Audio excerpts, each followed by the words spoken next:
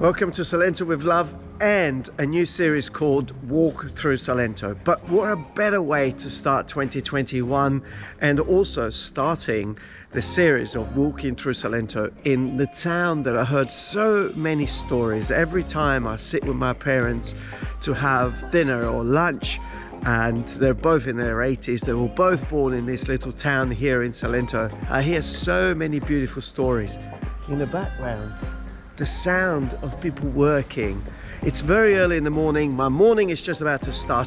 I'd like to show you why Salento is the place to be. This long strip of tongue of land in the south of Italy, representing one of the wealthiest and richest part of architecture here in the whole of the Italian peninsula. So let's come on the journey with me and I'll show you why Salento.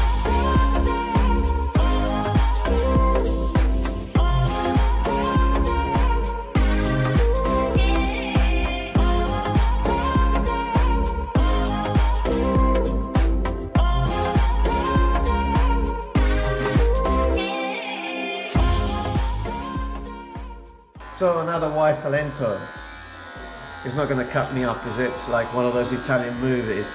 But while in London, I used to take half a day off to go and get my hair sorted. So now we started the morning, first thing in the morning, 8.30, get your hair sorted out, and then you ready to start your day here in Salento.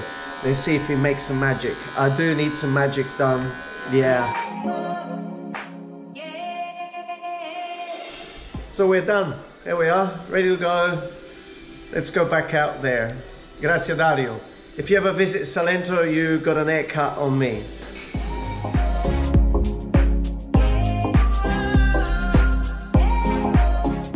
The very rich architecture that can be found in Puglia or in Salento is not the only reason why thousands and millions of people have decided to visit or even relocate in this beautiful part of Italy.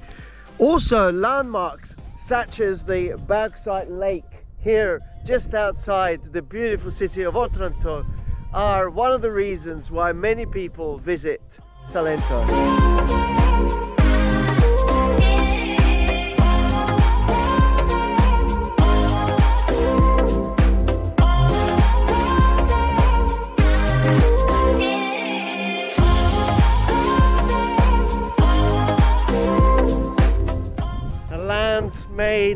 Of tradition. One of those traditions, it's producing cheese. And the landscape in the background, you can just imagine what these beautiful animals are getting fed on. Natural, organic grass with the most majestic background. In the distance over there, we can just see the mountains of Albania just in the background in the very well known channel of Otranto.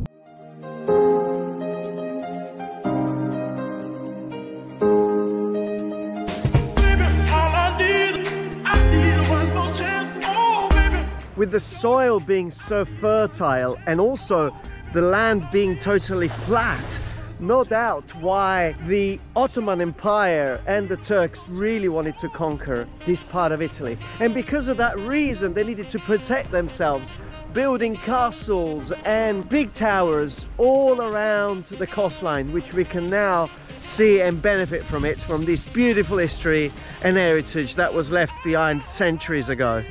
Thank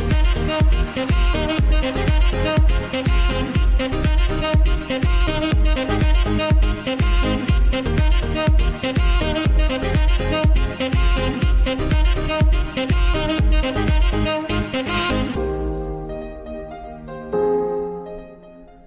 Buzzing in the summer with restaurants and bars and souvenir stores. Some of these beautiful cities in the winter they become the perfect retreat just quiet and these blue skies wrapping us around with an incredible amount of beautiful architecture to make our days so beautiful as we discover the land of Salento.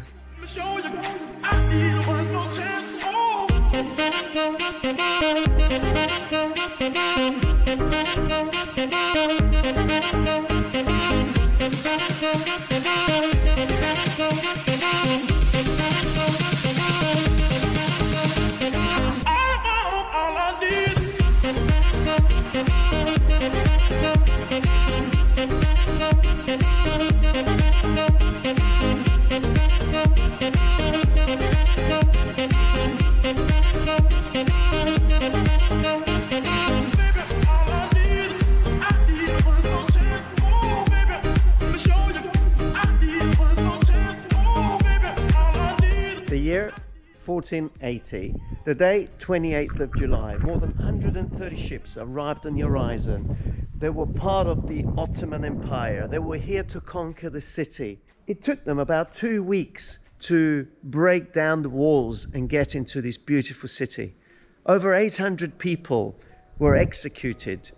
They didn't want to convert to Islam, and as a result of that, they were executed we now have beautiful example of that in this beautiful church but also the mosaic in this church.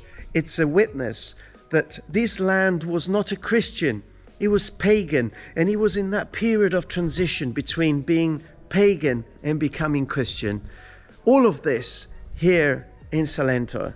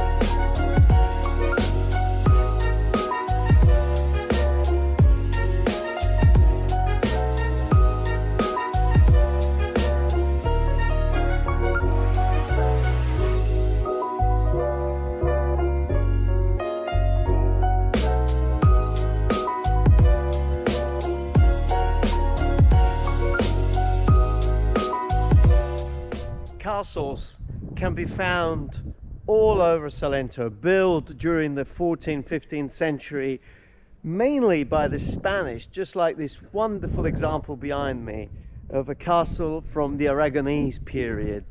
And they were really the Rochefort of Salento, protecting not just seaside cities, but also inland. So beautiful castles like this, well, this is a very large one, can be found all over the territory of Salento in the three provinces of Lecce, Brindisi and Taranto. So what makes of Salento the place to be? Could it be the weather? We're at the beginning of January and I'm sweating. Could it be the food? Could it be the geographical position attracting some of the most extraordinary energies in the world? Yes, surrounded by three seas. Well, many could be the reasons why Puglia and Salento, this very large part of Puglia, have become some of the most visited parts of Italy in the last 10 years.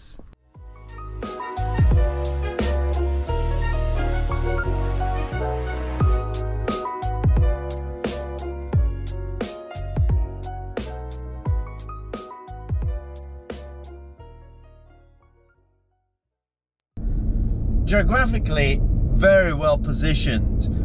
Now, not many regions in Italy have two international airports. Puglia has two, Bari and Brindisi. So you can fly in from more or less anywhere in the world. You may have a stopover in Milan or Rome and then flying into this extraordinary region as Puglia. And yes, the history of Salento, another reason why Salento is the place to visit.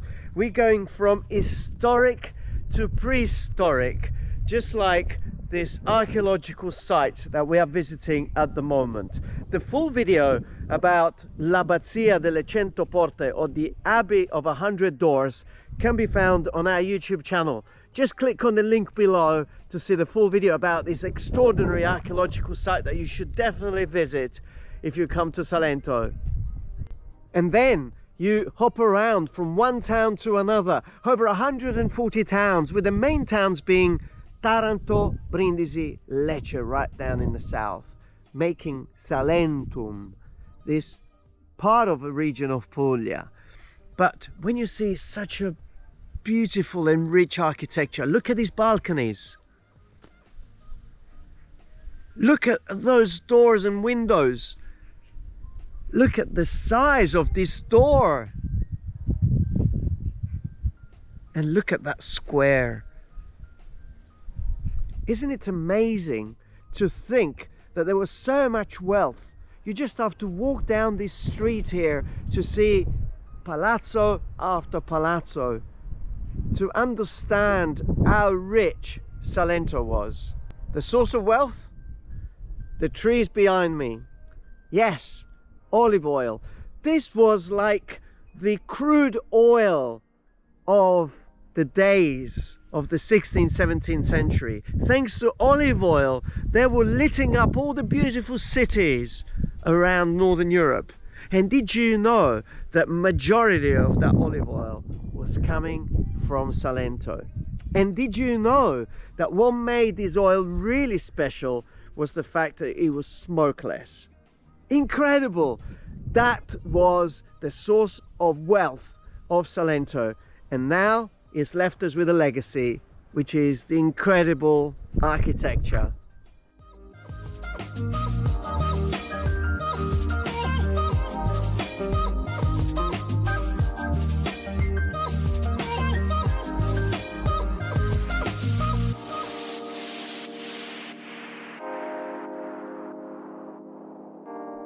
So, are you wondering what generated all the revenue that allowed Salento and Puglia to become one of the most wealthiest region in Italy in the 16th century. It was gold, but not the type of gold that you dig out from the ground. No, it was gold that was produced from these olives here. Olive oil. Yes, olive oil which it was then produced and shipped all over the world to create light Yes, it was the crude oil of the 15th, 16th, 17th century, 18th century before electricity was invented. This and many other reasons, it's why Salento had all the whys already back in them days. Full video on our YouTube channel.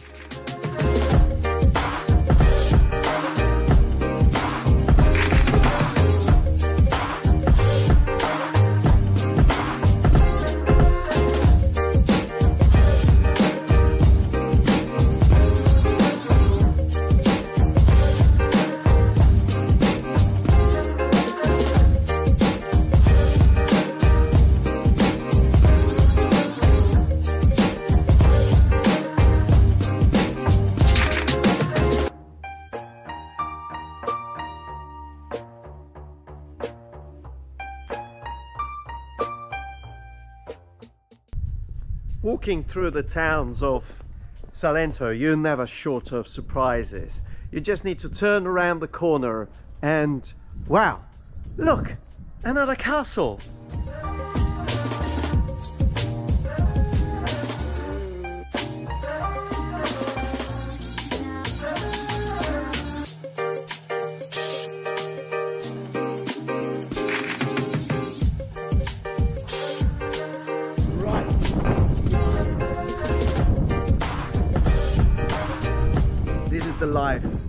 Like to live here in Salento.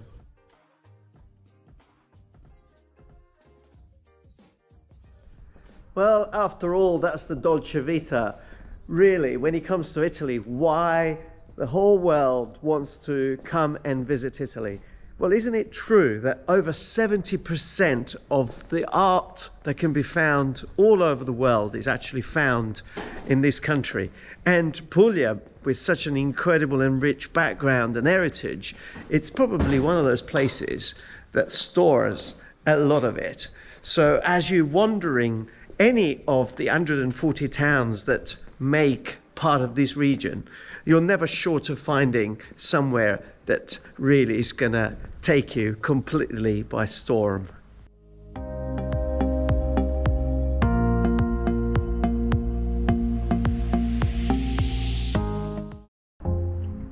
So if you're dreaming of La Dolce Vita, Salento gives you exactly that. Through this series, we will explore every time a different town that makes more than 140 towns that can be found in these three provinces of Lecce, Brindisi, and Taranto. And with so much to see and explore, with so much beauty, well, I can guarantee you we're never going to be left or we're never going to be short of anything to show you. Well, remember, we're talking about why Salento and we are walking through Salento in this series. So every time we come across incredible things like this in any of the towns that we're going to explore, we're going to make sure that we go in and we'll explore it together.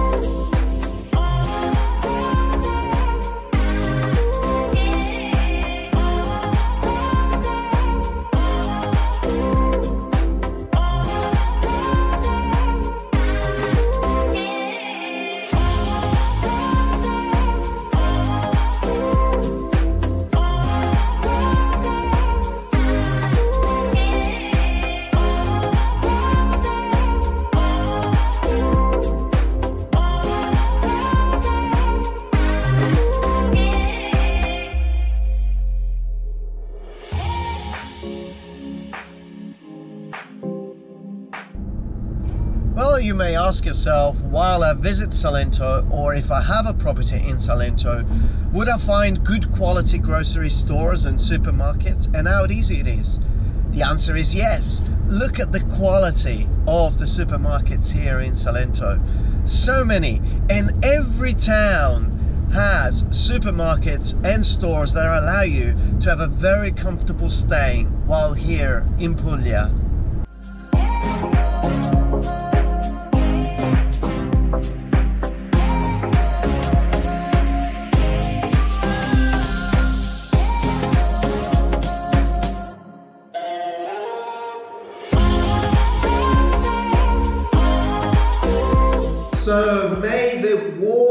Through Salento begun. Large courtyards, beautiful squares, churches, castles, seaside towns, everything you need to live the Dolce Vita here in Italy. We've ended up in one of my favorite spots to end this video, Palazzo Zuccalà. Just below you can see the link to a series of videos that I'm doing here in this building that took my heart. Now the same thing could happen to you. Walking through Salento, remember 140 towns and more in the three provinces, you may see something that is going to make your heart stop. And that's exactly what we intend to do. Remember, two international airports. Which ones?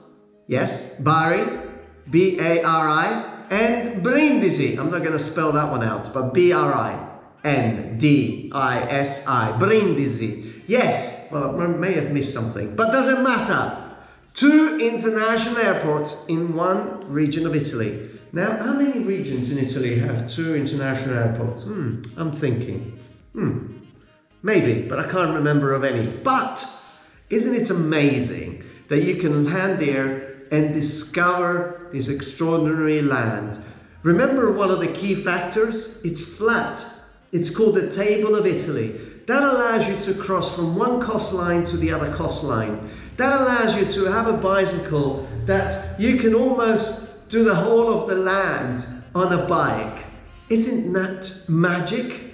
And just the province of Lecce, 97 towns that you can go and discover one by one. Even if you did one a week, it would be 97 weeks just to discover the province of Lecce. So much to do. So we're going to walk through Salento with you and please stay tuned for the first town that we'll be choosing in this series and we're going to walk through together and discover, explore and find all of those things that make Italy such a wonderful place to be in the world.